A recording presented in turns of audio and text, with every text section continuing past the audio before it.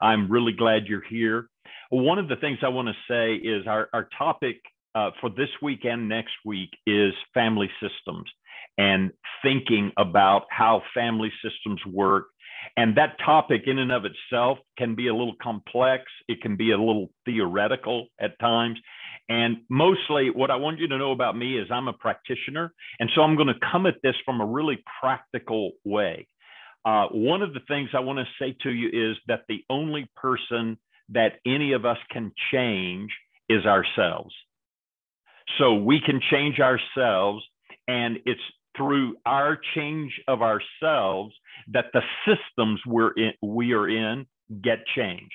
So whether that that's my family or whether that's the place I work or whether that's my local congregation that I attend or whether it's the community neighborhood group, the only way I'm going to impact that group is when I change myself.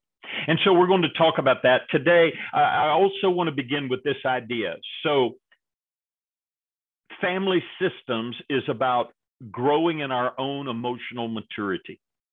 And I have a little formula that I that I work off of that emotional maturity. Uh, uh, and before I get there, let me say this: an emotional maturity is our ability to maintain relationships without blowing them up with our reactivity. And so, emotional maturity looks like this: it's being self-regulated plus being self defined equals emotional maturity. And over the next two weeks, we're going to be talking about both those topics. So today, I'm going to be talking about becoming more self regulated. Because the more we become self regulated, the more it's an indicator of our emotional maturity and the healthier our relationships will be. So I have a PowerPoint I'm going to run through. And the way I like to do this group is I, am going to go through a, a, few slides and then I'm going to uh, let you see me again because again, I like, uh, I like you to see me and not just get lost. Do any of you have relationships that are less than what you hope they would be? And I already know the answer to that because we all do. We all have relationships that are less than what we hope they would be.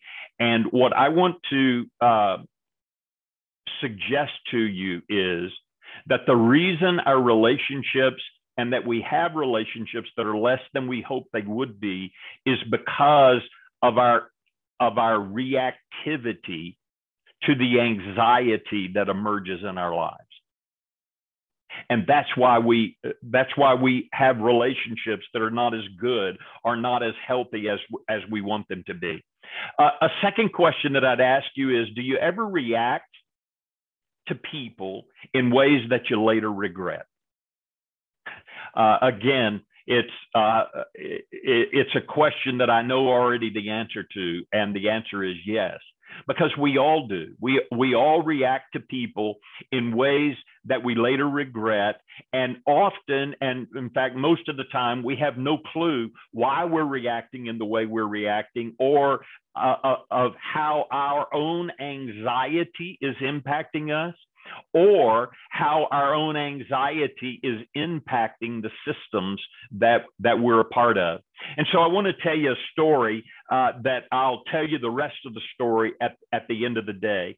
Uh, both both my adult daughters, I told you they're school teachers and they live here in the greater Houston area, and both of them are graduates of Texas A&M University up in College Station.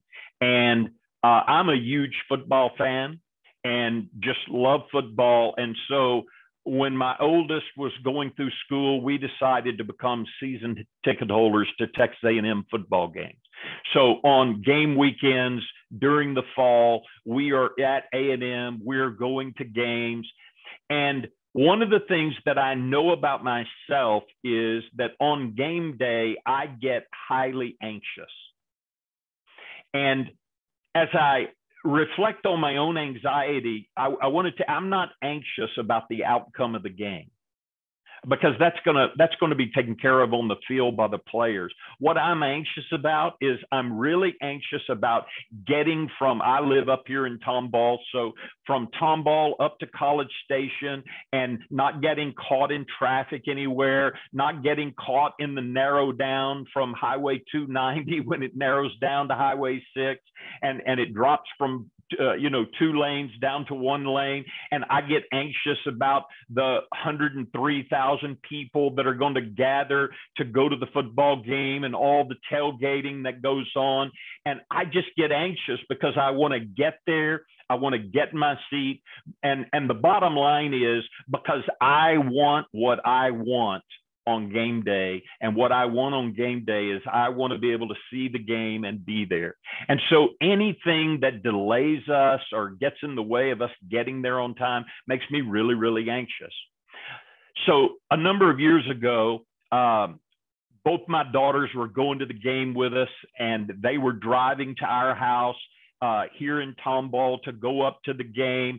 And one of my daughters called me on the phone frantic almost in tears because she had gotten stuck on uh, in traffic on 290 when they were doing all the construction over on 290 and she was all anxious herself because she knew daddy was going to be upset with her for being late because if we don't do it just in the time frame that it's supposed to be done in what daddy does is daddy reacts in ways that he later regrets he acts like a jerk. He says things he shouldn't say. He grumbles and complains, and he is irritable and he's snarky. And what I recognized was that my anxiety was running through the whole family.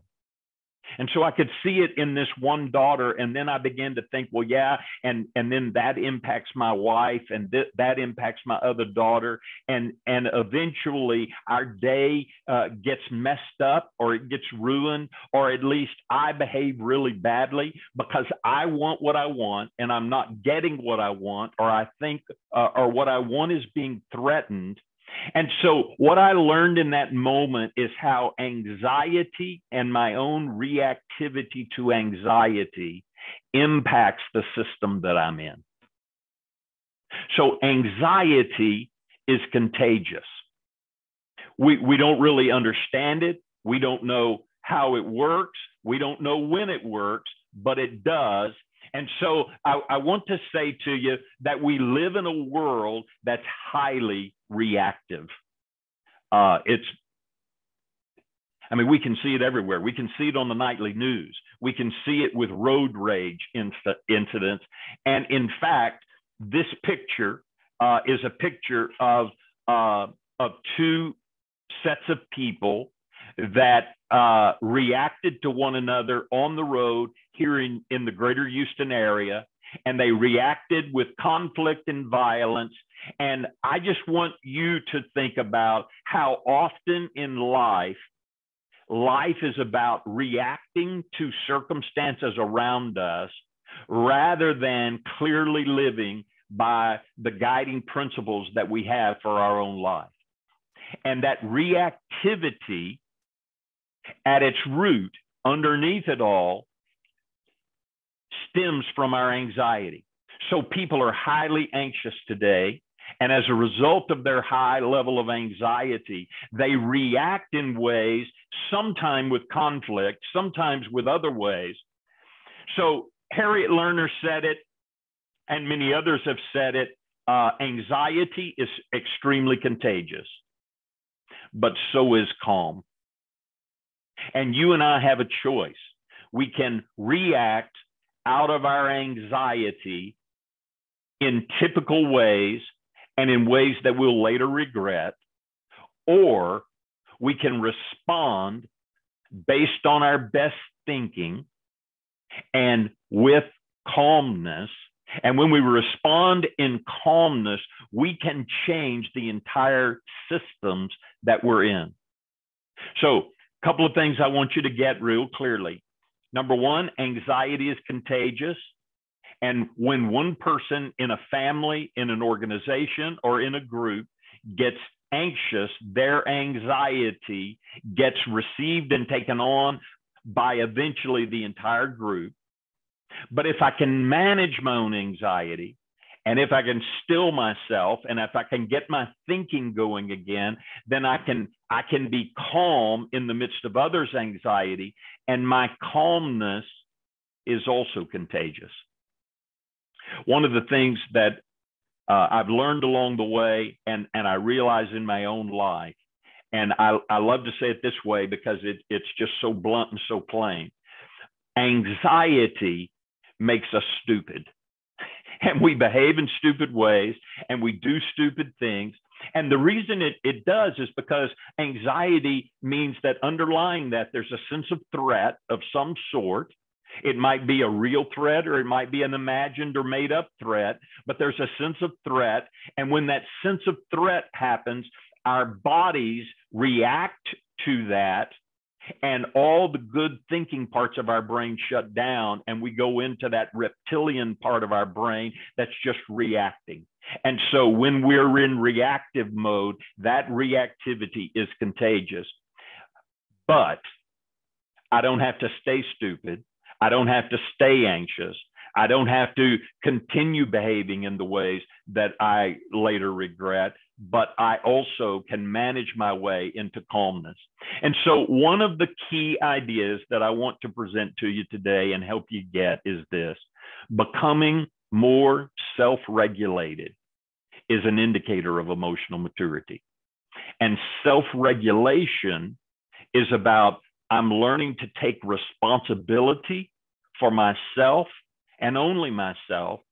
And I'm learning to see anxiety when it emerges and I'm learning to manage that anxiety and that reactivity in much more healthy ways. So, anxiety impacts systems, but my calmness will impact the system. And the more I can regulate myself, the more emotional maturity I bring to any system, and the healthier that system becomes. Dr. Henry Cloud, uh, the author of the book Boundaries and a, and a psychologist, uh, said it this way. He said, external conflicts are difficult to resolve before resolving the internal conflicts that fuel them. My interpretation of what he's saying there is, is that yeah, we react to anxiety and we're we're engaged in external conflicts, but that reactivity is fueled by something deep within ourselves. It's fueled by some wound that I have or something that I'm protecting myself from. And if I don't address the internal conflicts, then I'm going, not going to have much success in addressing the external conflicts that come because of that.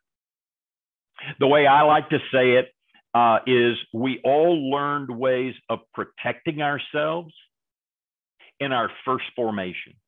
And that word first formation uh, for me means the first 17 years of our life. When we're at home, uh, going to school, uh, that was our first formation. And by the way, we all get formed. Uh, we get formed by multiple influences, but in our first formation, we we learned that okay, in order to be safe, this is what I have to do. Or in order to get what I want and get my needs met, this is what I have to do. And it's in our subconscious and we're not even aware of it. 99% of the time, we're not aware of the ways we're protecting ourselves.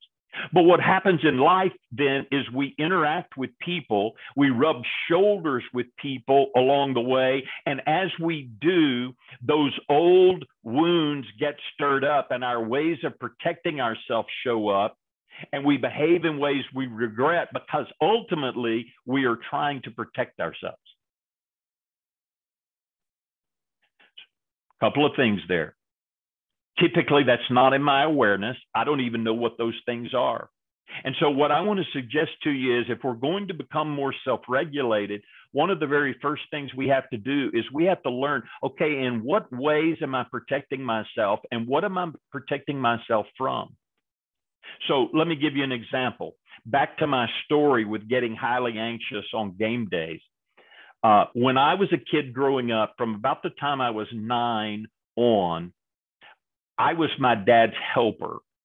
my dad owned his own construction business and we lived out in the country. And so saturdays were always days where we were we were either mowing the grass or we were working on equipment or we were doing something. But most all of my saturdays were were done doing work and i didn't get to do what i wanted to do.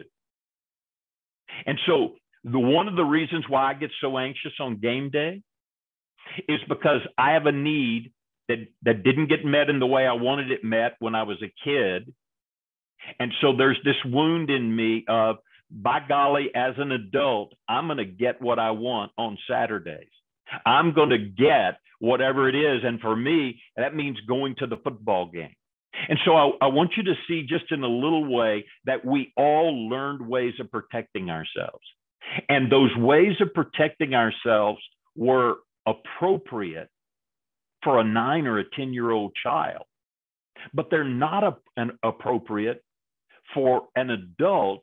Uh, and, and yet, by default, we continue to behave in the same old ways because we're protecting ourselves from getting wounded again, like we were wounded as children. And so, one of the things in self regulation is those wounds or that way of protecting ourselves become emotional triggers for us. And, and we learned ways of being and reacting. And when we get triggered, we react in those same old ways. And, and so, what I want to invite you to think about is this idea that growing in our awareness that we get triggered, growing in our awareness of how we behave when we get triggered, and growing in our awareness that we're being triggered is a part of being self regulated. And it's a part of us learning to become more emotionally mature. So people typically react to anxiety in, in, in four typical ways. And what I've discovered in my own life is I react in all of these ways. It just depends on the relationship and it depends on my role in the relationship.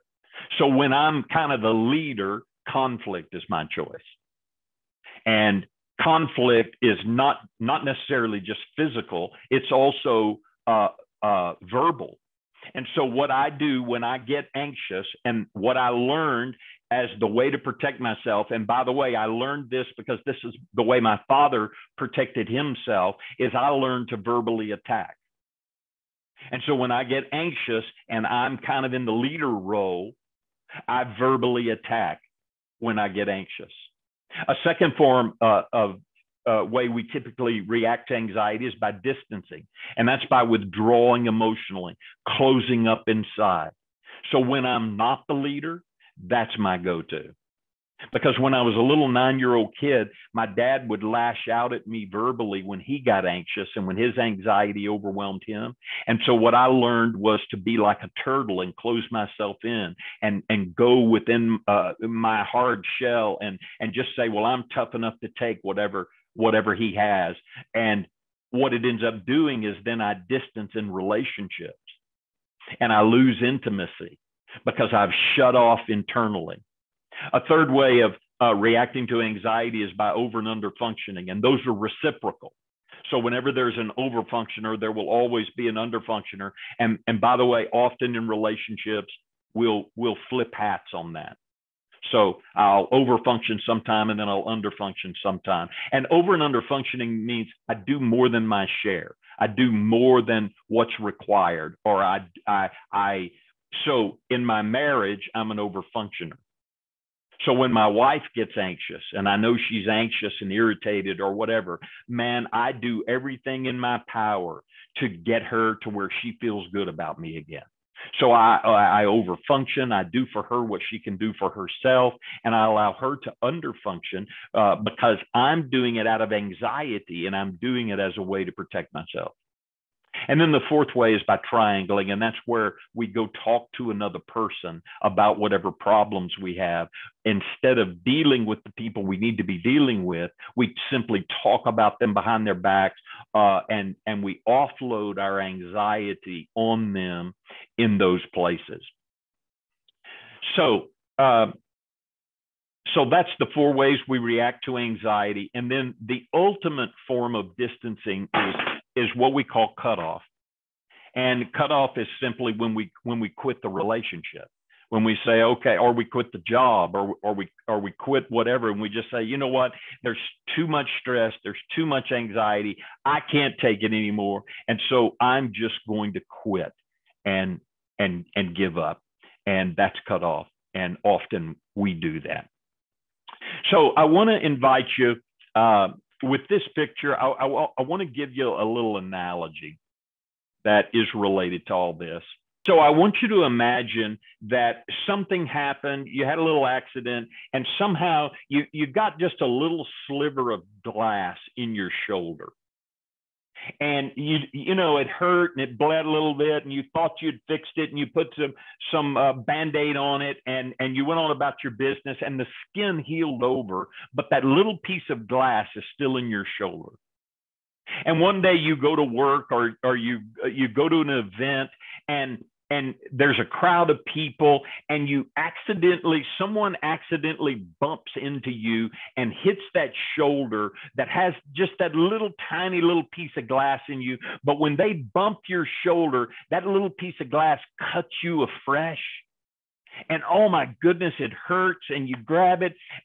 Think about how you react when your shoulder gets bumped most of us react by saying, uh, by uh, we might react with conflict, by by jumping all over the person and and verbally attacking them. We might react with distancing by saying, "Oh, it, hurt," and then we withdraw and just kind of shut down.